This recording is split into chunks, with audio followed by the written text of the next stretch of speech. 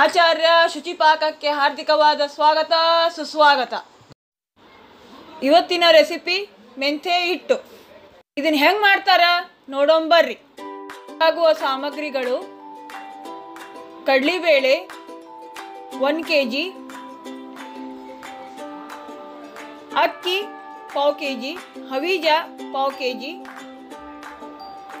ಉದ್ದಿನಬೇಳೆ ಪಾವು K G ಗೋಧಿ ಪಾವು ಕೆ ಜಿ ಜೀರಿಗೆ ನೂರು ಗ್ರಾಮ್ ಒಣ ಮೆಣಸಿನ್ಕಾಯಿ ನೂರು ಗ್ರಾಮ್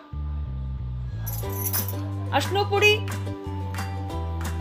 ಒಂದು ಎರಡು ಮೂರು ಚಮಚ, ಇಂಗು ಒಂದು ಎಂಟತ್ತು ಕರಣಿ ಎಲ್ಲ ಹುರಿದಿಟ್ಕೋಬೇಕು ಈಗ ಬುಟ್ಟಿ ಇಟ್ಕೊಳ್ಳೋಣಂತ. ಬುಟ್ಟಿ ಇಟ್ಕೊಂಡ್ಮೇಲೆ ಕಡ್ಲಿಬೇಳೆ ಒಂದು ಕೆ ಜಿ ಹಾಕಿ ಕಡ್ಲಿಬೇಳೆ ಕೆಂಪು ಅಲ್ಲಿಗತ್ತವ ಕೆಂಪಾದ್ಮೇಲೆ ಕೆಳಗೆ ಇಳಿಸೋಣಂತ. ಮೇ ಗೋಧಿ ಹಾಕೋಣಂತ.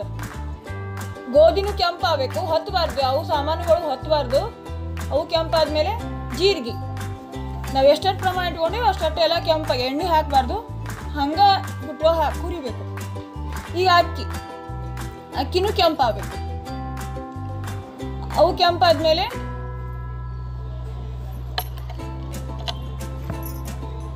ಒಣ ಮೆಣಸಿನ್ಕಾಯಿ ಒಣ ಮೆಣಸಿನ್ಕಾಯಿ ಹೊತ್ತಬಾರ್ದು ಹೊತ್ತಿದ್ರೆ ಖಾಟ್ ಎಲ್ಲ ಆಗ್ತದೆ. ಕೆಂಪು ಕೈಯಾಡಿಸಿ ಹೋತ ಇರಬೇಕು ಕೆಂಪಾಗಬೇಕು ಆಮೇಲೆ ಇಂಗು.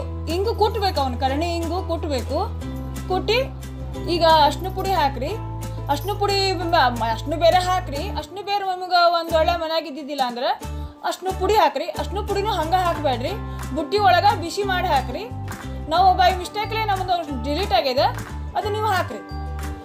ಎಲ್ಲ ಸಾಮಾನು ಎಲ್ಲ ಹುರಿದಿಟ್ಕೊಂಡೇವಿ ಈಗ. ಇನ್ನು ಗಿರಣಿಗೆ ಹೋಗ್ಬೇಕು. ನೀವು ಬೇಕಿದ್ರೆ ಮನೆಯಾಗ ಮಿಕ್ಸರಿಗೆ ಹಾಕೋತೀವಿ ಅಂದ್ರೆ ಮಿಕ್ಸರಿಗೆ ಹಾಕೋಬಹುದು, ಹಿಟ್ಟು. ಇಲ್ಲಾಂದ್ರೆ ಗಿರಣಿಗೆ ಹೋಗಿ ಬರ್ಬೋದು. ಗಿರಣಿಗೆ ಹೋಗಿ ಬಂದ್ಕೊಳ್ಳೋಣ ಅದನ್ನ ಹಿಟ್ಟು ಜಡಿ ಹಿಡಿಬೇಕು. ಅಂದ್ರೆ ಎಲ್ಲ ಒಂದ ಕಡೆ ಆಗ್ತದೆ. ಒಂದೊಂದು ಬೇರೆ ಬೇರೆ ಹಿಟ್ಟಿಟ್ಟು ಒಂದು ಕಲರ್ ಬರ್ತದೆ, ಒಂದು ಕಲರ್ ಬರೋಂಗಿಲ್ಲ. ಏಕಾಲಿಕ್ ಅಂತೇಳಿ ಜಡಿ ಹಿಡಿಬೇಕು. ಪೂರ ಜಡಿ ಹಿಡಿದ ನೈವೇದ್ಯ ಮಾಡ್ರಿ. ನೈವೇದ್ಯ ಮಾಡಿದ್ಮೇಲೆ ಡಬ್ಬ್ಯಾಗ ತುಂಬಿಡ್ರಿ. ಎರಡು ತಿಂಗಳು ತನಕ ಬೇಕಾದಂಗೆ ಬರ್ತದೆ. ನೀವು ಅದನ್ನ ಉಪಯೋಗ ಮಾಡೋದಂದ್ರೆ ಅನ್ನಕ್ಕೆ ತುಪ್ಪ, ಚಟ್ನಿ ಪುಡಿ, ಮೆಂತ್ಯ ಹಿಟ್ಟು, ಉಪ್ಪು ಹಾಕೊಂಡು ಕಳ್ಸ್ಕೊಂಡು ಉಂಡ್ರೆ ಭಾಳ ರುಚಿ ಆಗ್ತದೆ. ಆಮೇಲೆ ಭಕ್ರಿಗೆ, ಚಪಾತಿಗೆ ಮೆಂತ್ಯ ಹಿಟ್ಟು, ಚಟ್ನಿ ಪುಡಿ, ಮೊಸರು, ಒಗ್ಗರಣೆ ಹಾಕಿ ಅದನ್ನು ಉಣ್ ತಿನ್ಬೋದು ಚಪಾತಿ ಭಕ್ರಿಗೆ. ಆಮೇಲೆ ನಿಮಗೆ ಹಂಗಪ್ಪ ಬೆಳೆ ಮೆಂತ್ಯ ಹಿಟ್ಟು ಉಣ್ಬೇಕಂದ್ರೆ ಉಪ್ಪು ತುಪ್ಪ, ಮೆಂತ್ಯ ಹಿಟ್ಟು ಅನ್ನ ಉಂಡ್ರೆ ನಡೀತದೆ. ನೀವು ಬೇಕಿದ್ರೆ ಚಟ್ನಿ ಪುಡಿ, ಉಪ್ಪಿನಕಾಯಿ ಹಾಕೊಂಡ್ರು ನಡೀತದೆ. ಇದು ಮೆಂತ್ಯ ಹಿಟ್ಟು ಎಲ್ಲ ಭಾಳ ರುಚಿ ಇರ್ತದೆ ಕಮ್ಮಗಿರ್ತದೆ ಈ ಮೆಂತೆ ಹಿಟ್ಟಿನಿಂದ ಇನ್ನೊಂದು ರೆಸಿಪಿ ಮಾಡ್ತಾರೆ. ಅದು ಏನಂದ್ರೆ ಸಿಹಿ ಮೆಂತೆ ಹಿಟ್ಟು ಉಪ್ಪಿನ ಮೆಂತೆ ಹಿಟ್ಟು ಇವನ್ನೆಲ್ಲ ಹೆಂಗ್ ಮಾಡ್ತಾರೆ?